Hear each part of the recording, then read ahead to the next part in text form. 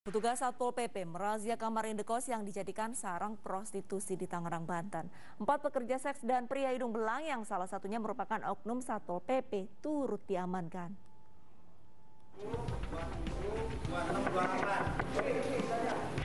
Satu persatu kamar indekos diperiksa petugas Satpol PP Kota Tangerang, Banten.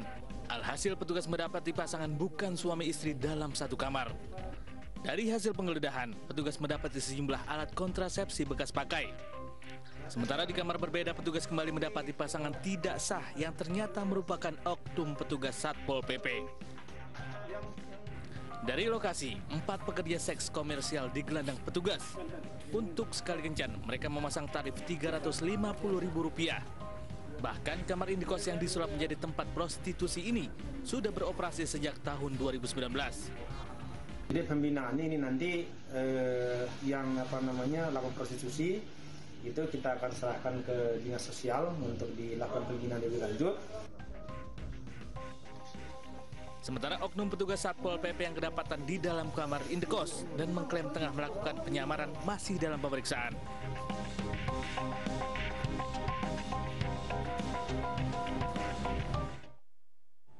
Petugas gabungan menggelar razia penyakit masyarakat di hotel dan penginapan di kota Kisaran, Asahan, Sumatera Utara.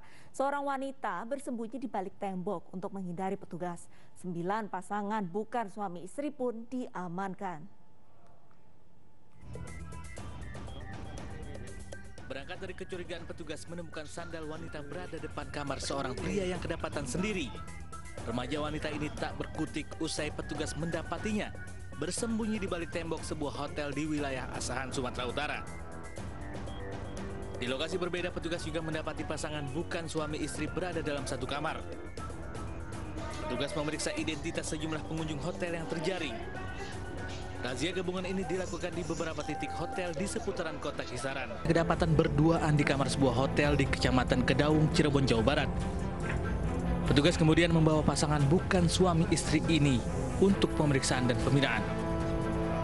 Razia penyakit masyarakat dilanjutkan ke tempat hiburan malam di kawan Gronggong. Selain menyita puluhan botol minuman keras, petugas juga memeriksa para pekerja wanita. Kita menyasar ke kos-kosan serta penginapan-penginapan yang disinyalir eh, perbuatan melanggar asusila. Yang kita amankan sekarang ada beberapa uh, belasan, belasan pasangan yang tidak sah, yang tidak bisa menunjukkan bukti identitas bahwa mereka adalah pasangan yang sah. Razia ini digelar untuk memberantas prostitusi yang marak terjadi selama pandemi. Empat pasangan muda-mudi bukan suami istri terjaring razia yang digelar aparat gabungan wilayah Makassar, Sulawesi Selatan, pemirsa. Delapan orang terjaring saat berada di dalam kamar hotel. Untuk mengelabui petugas, sepasang muda-mudi mengaku kakak adik.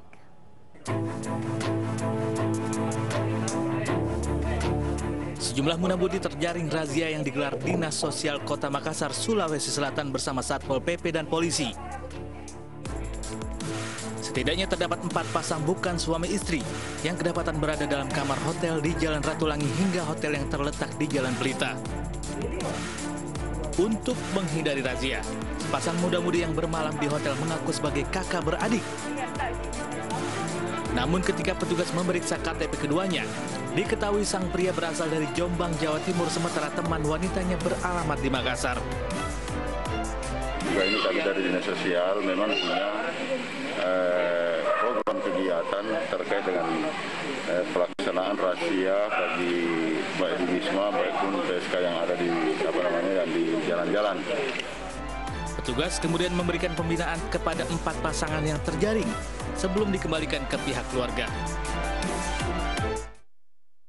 Oknum Ustadz diduga merekayasa video pembegalan. Realita akan segera kembali dengan informasi selengkapnya.